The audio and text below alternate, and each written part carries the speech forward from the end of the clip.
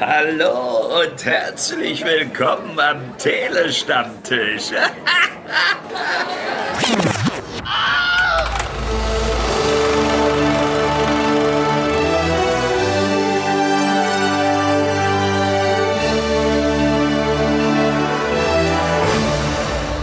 Hallo, willkommen beim Telestammtisch zur Besprechung des Films The Old Oak, dem neuen Film von Ken Loach. Ich bin Destu und heute an meiner Seite ist der Dominik. Grüß dich, Dom. Guten Abend. Dom, wir haben im Vorgespräch uns schon so ein bisschen über Ken Loach unterhalten und wir sind, glaube ich, uns da einig, es ist ein sehr wichtiger Filmemacher, auch ein durchaus bekannter.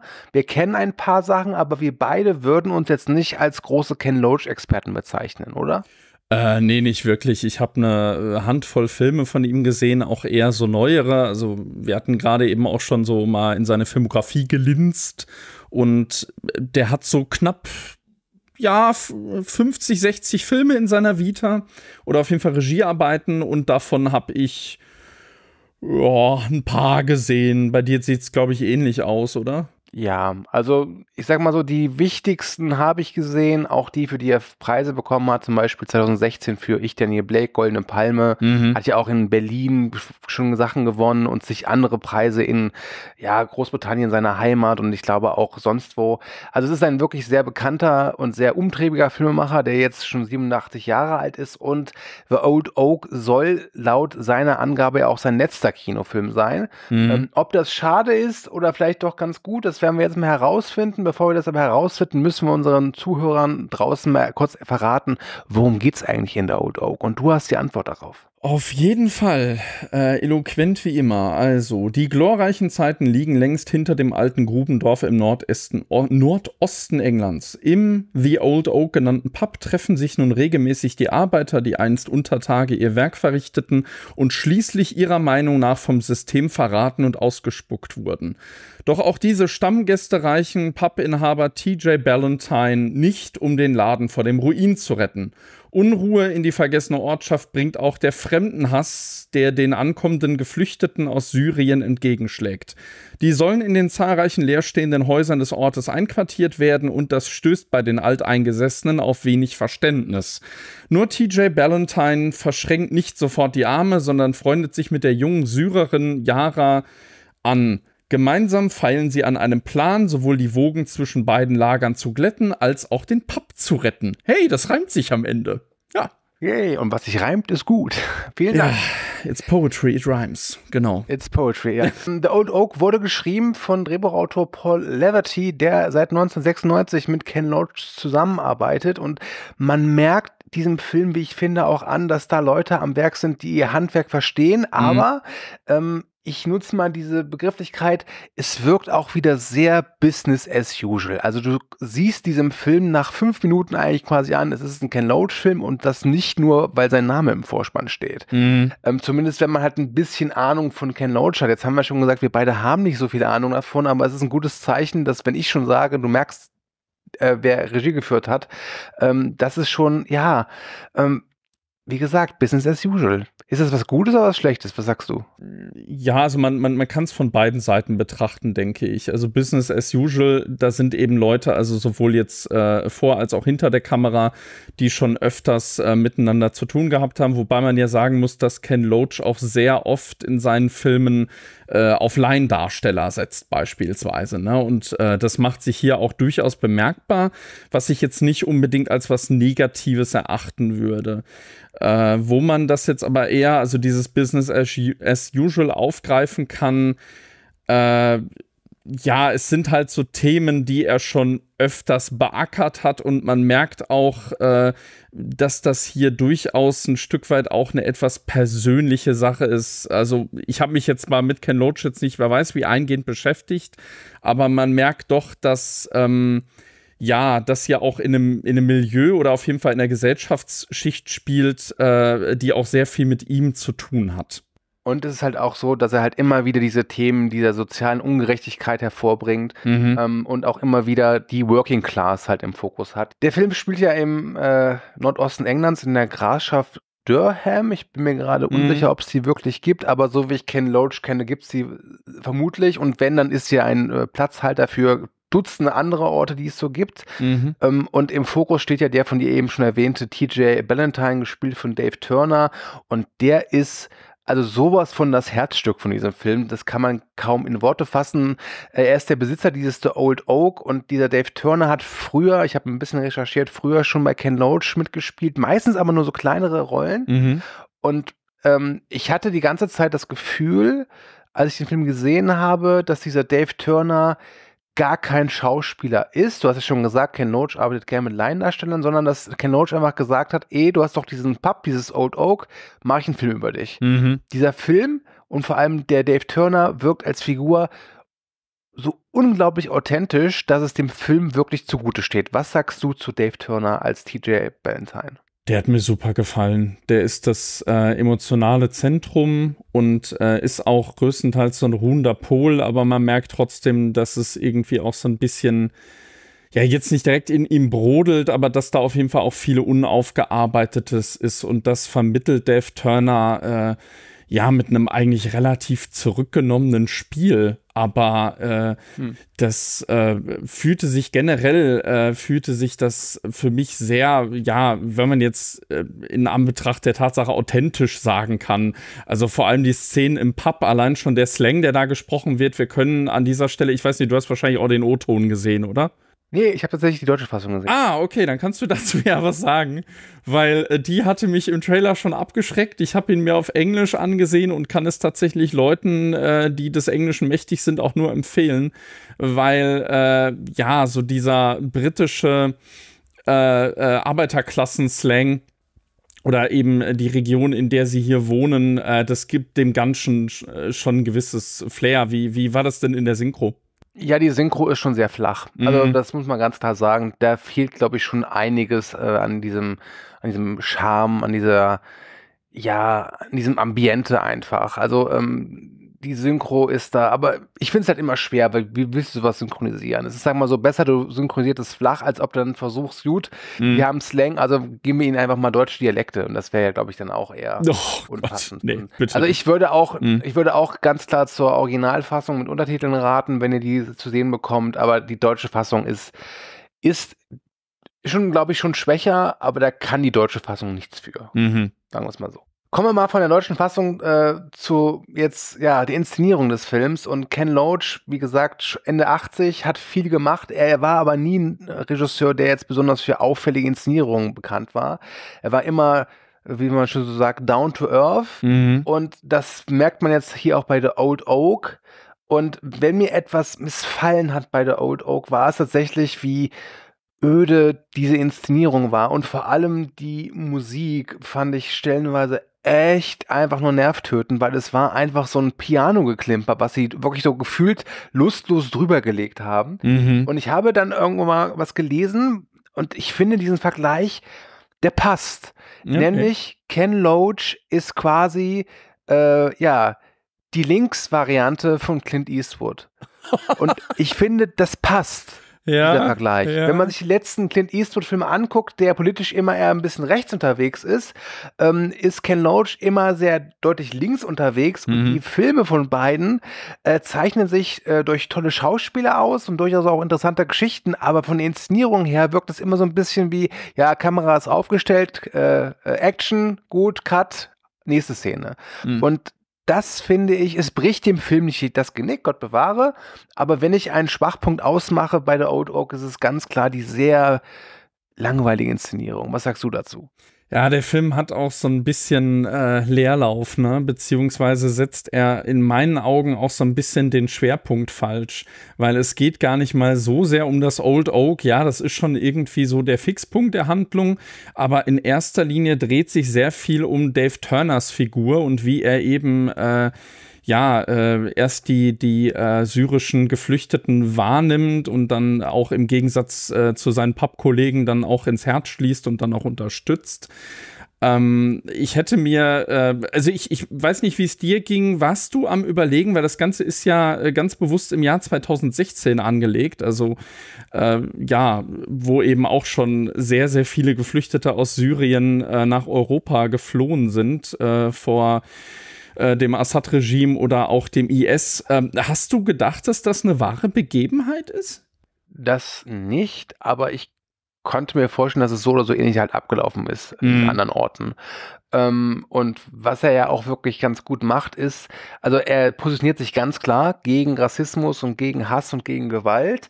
Ähm, er lässt, aber er ist aber jetzt kein Filmemacher, der jetzt sagt, pass auf, der Typ da hinten in dem Pub, der ist gerade, hat ist gerade, hat was gerade gesagt gegen äh, Flüchtlinge. Das heißt, der ist böse. Der Film versucht ja schon so ein bisschen differenzierter zu sein und zu ergründen, warum sind die denn so drauf? Warum sind die gerade sauer? Mhm. Ähm, das ist ja auch immer so die, die, die Kernkompetenz von diesem TJ ist ja wirklich, dass er den Leuten immer wieder mit aller Ruhe versucht zu erklären, ja, pass auf, dir geht es nicht gut, aber überleg mal, die sind gerade aus dem Kriegsgebiet geflohen. Was glaubst du, wie es denen gerade geht? Ja.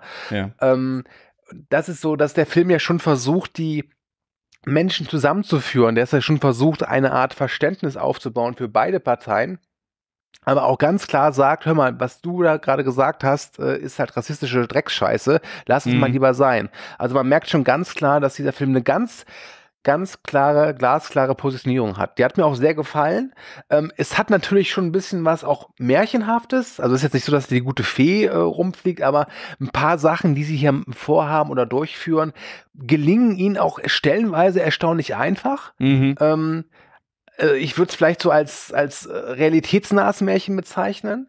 Äh, trotz allem finde ich, dass es ganz gut ist, weil solche Geschichten brauchen vor allem auch immer eine Prise Optimismus und die hat der Film ja. Also er ist nicht nur optimistisch, gibt auch sehr harte Rückschläge, aber mhm. ich kam aus diesem Film raus und hatte das Gefühl, ja, man kann es schaffen. Man kann mit, miteinander koexistieren, man kann andere Kulturen miteinander kombinieren, ohne dass man sich gleich an die Gurgel geht.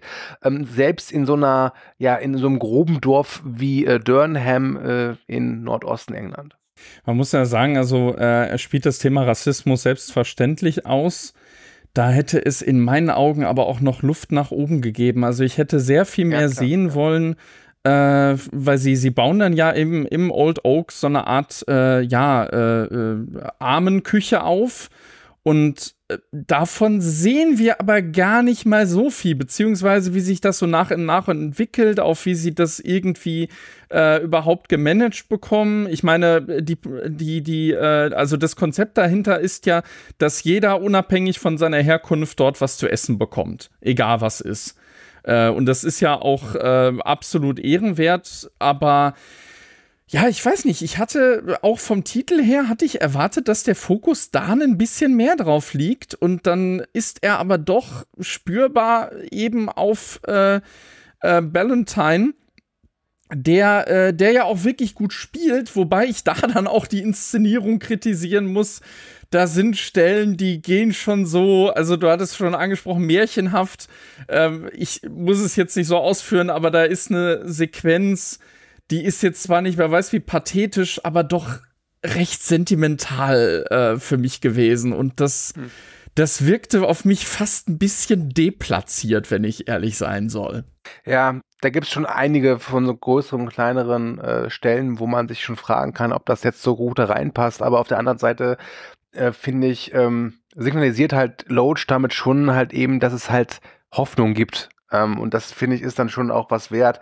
Natürlich kann man auch sagen, für wen ist dieser Film eigentlich gemacht, weil, seien wir ehrlich, niemand, äh, der von den Leuten, die dort in diesem Pub sitzen, sage ich mal, mhm. und da ihre äh, rassistischen Phrasen dreschen, wird sich niemand von denen würde sich so eine Art von Film angucken. Nein. Das ist schon ganz klar. Das ist ein Film, der wird vor allem von einem politisch eher linken Publikum äh, bevorzugt äh, und deswegen ist es vielleicht auch so ein bisschen ein ja, ein wichtiger Film, aber vielleicht ein Film, der alleine auch von seiner Inszenierung äh, vielleicht dann letztlich auch nicht viel erreichen wird. Seien wir, seien wir ehrlich. Ja, obwohl das Hoffnungsvolle äh, trägt der für mich vor allem schon am Ende. Also ich weiß, da äh, ja. ist dann die Gefühlsklaviatur auch nochmal an von George Fenton, von dem Komponisten. Ähm, aber das Ende an sich fand ich, fand ich eigentlich sehr schön. Ähm, und das ist auch, also das muss man sagen, wenn, wenn Ken Loach leise Töne anschlägt, dann trifft er die eigentlich auch, finde ich. Ja. Ähm, und dieses, dieses, äh, diese Schlussszene, wo äh, ja irgendwie äh, auf jeden Fall einem, Verlust Tribut gezollt wird, da ist halt auch wieder ein bisschen schade, dass da eben nicht so die, die Vorarbeit war, was haben die jetzt genau eigentlich für ein Verhältnis zu der Familie. Also da kommen ja dann wirklich alle aus dem Umkreis, ne? Und äh, zollen da ihren, ihre Anerkennung. Ähm, auf der anderen Seite habe ich mir so ein bisschen gedacht, weil ich, ich meine, das, das ist ja letzten Endes das Bild, mit dem Ken Loach äh, dann irgendwie auch so seine Karriere beendet, ne? Und da hat mich dann, da hat mich dann schon so ein bisschen Wehmut gepackt, weil, wie gesagt, ich habe noch nicht so viel von ihm gesehen, aber ähm, da hatten wir auch gerade im Vorfeld schon drüber gesprochen. Ken Loach ist so ein Regisseur, den kannst du, glaube ich, relativ schnell einschätzen, selbst wenn du nicht sein gesamtes Werk äh, äh, irgendwie intus hast, ne? Und ich muss auch sagen, was er auch sehr gut hinbekommt, ist, ähm, es gibt wirklich ein paar Dialoge, die ich sehr gut finde, oder Monologe. Es gibt ähm, die Yara, das ist ja die Syrerin, die noch so die, den ersten Kontakt mit äh, TJ hat, weil sie halt eben die Sprache auch äh, versteht und sprechen kann. Mhm. Ähm, und die und ihre Familie sind ja auf der Suche nach ihrem Vater. Und da gab es ja diese Szene, wo sie TJ halt äh, sagt, dass sie eigentlich gar nicht mehr hofft, dass ihr Vater noch lebt, mhm. sondern eigentlich mehr hofft, dass er tot ist damit das mhm. endlich alles vorbei ist. Und das ist so, das sind so echt starke Aussagen und die treiben diesen Film qualitativ auch wirklich voran. Äh, und wenn du nichts mehr hast, würde ich auch vorschlagen, dass wir zum Fazit kommen. Ja, ich äh, möchte da noch äh, eins kurz ein, äh, aufgreifen, äh, wo ja auch wieder so, ähm, ja, ich sag mal, der, der Gemeinschaftssinn äh, in der Arbeiterklasse durchkommt. Also der Film ist ja angereichert mit vielen Zitaten äh, die irgendwie noch so aus der äh, Streik der, ähm, also hier Streik der Minenarbeiter wird ja immer wieder drauf referiert, ne? Und dadurch wird das Ganze auch gut in, in dieses Setting eingeflossen, beziehungsweise dieses, äh, ja, dieses Gemeinschaftsgefühl wird letzten Endes auch auf diejenigen, die eigentlich erst so äh, Teil der neuen Masse werden, dann auch übertragen. Also da ist eigentlich auch ein schöner Integrationsgedanke, wie ich finde. Und deshalb ist das dann eigentlich umso, ja, äh, äh, bitterer, dass dann ausgerechnet diejenigen, die das eigentlich ihr Leben lang hochgehalten haben, dass die dann halt, äh, ja, sich eher abweisend geben, sagen wir es mal so. Ne? Und äh, äh, eins möchte ich noch kurz sagen, es wurde ja auch ganz kurz mal auf Social Media äh, referiert.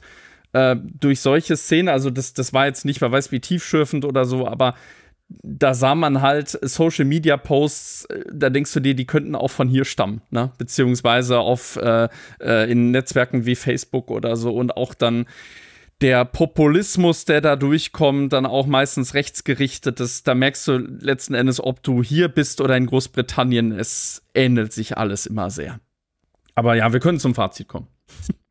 Gut, ähm, dann drängle ich mich mal vor. Mhm. Ähm, The Old Oak ist ein guter Film, kein umwerfender Film. Er ja, er lebt vor allem durch den Hauptdarsteller Dave Turner, der da wirklich eine ganz hervorragende Performance abliefert. Ken Loach bleibt halt einfach Ken Loach. Wenn ihr zwei Filme von ihm gesehen habt, dann werdet ihr genau wissen, was euch bei The Old Oak erwartet. Der ist ein netter Film, ein schöner Film, ein wichtiger Film. Ich glaube trotzdem, dass dieser Film halt niemanden außerhalb seiner Bubble erreichen wird. Mhm. Sei es drum, wenn das wirklich der letzte Ken Loach-Film sein sollte, wie er selbst sagt, dann ja, ist es ein guter letzter Film und ähm, damit würde ich sagen, ja, guckt euch den gerne an. Ich würde eine Empfehlung aussprechen. Wie sieht es bei dir aus? Ja, kann man äh, durchaus empfehlen. Ist jetzt auch, äh, also ich meine, da gibt es ja äh, deutlich äh, andere Sachen nochmal zur Integration, auch hier aus Deutschland zum Beispiel. Also weiß ich nicht, äh, das ist jetzt zum Beispiel kein Willkommen bei den Hartmanns oder so. Ähm, äh, kann man sich schon durchaus ansehen. Ist vielleicht auch passend für Ken Loach ein relativ ja nicht jetzt durchweg zurückhaltendes Werk, aber er geht dann doch relativ mit leisen Tönen am Ende und das äh, passt dann durchaus zum Regisseur, der sich dann jetzt hier seinen Ruhestand mit verdient hat, auf jeden Fall. Den Ruhestand verdient haben sich auch Dominik und ich, aber keine Panik. Wir kommen zurück und wenn ihr noch mehr von uns haben wollt, dann seid ihr ziemlich bescheuert. Aber gut, dann sei erwähnt, wir haben eine Webseite, beziehungsweise nicht wir, sondern Telestammtisch, www.tele-stammtisch.de. Außerdem findet ihr den Telestammtisch überall wo es Likes gibt. Und damit sage ich vielen Dank fürs Zuhören und Dominik, dir gebührt das letzte Wort. Ciao, ciao. Sehr geehrte Damen und Herren, wertes Publikum, liebe Hörende, vielen Dank für eure Aufmerksamkeit und Zeit. Ich hoffe sehr, euch hat gefallen, was ihr gerade gehört habt. Wir, die Redaktion des Telestammtisch, betreiben ein semi-professionelles Podcast-Projekt zum Selbstmitmachen. Also meldet euch bei uns, wir beißen auf. Außerdem freuen wir uns immer über Feedback via Social Media und E-Mail sowie euren finanziellen Support. Ebenso frohlocken wir förmlich über Bewertungen auf den gängigen Podcast-Plattformen. Wer möchte, darf uns gern immer und überall empfehlen. Alle relevanten Links findet ihr in den Show Notes. Vielen Dank und bis zum nächsten Mal. Euer Andi.